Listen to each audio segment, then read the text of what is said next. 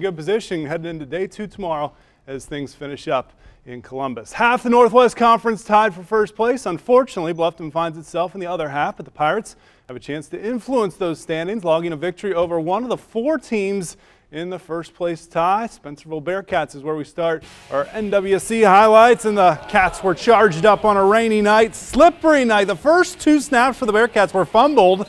They would go three and out. Spencerville's defense coming up big. Mason Myers chasing down the quarterback from behind. Eli Yale puts the pop from the front. They would punt.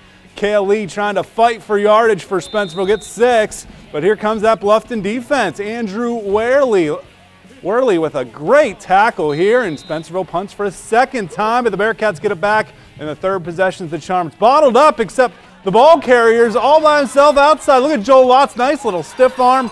We're getting more lots, lots more yardage, and he says hi to the camera. Got to get our lots of yardage. And how about Cannon Johnson lowering the boom? 52 yards. He sprints to the house for the first score of the night.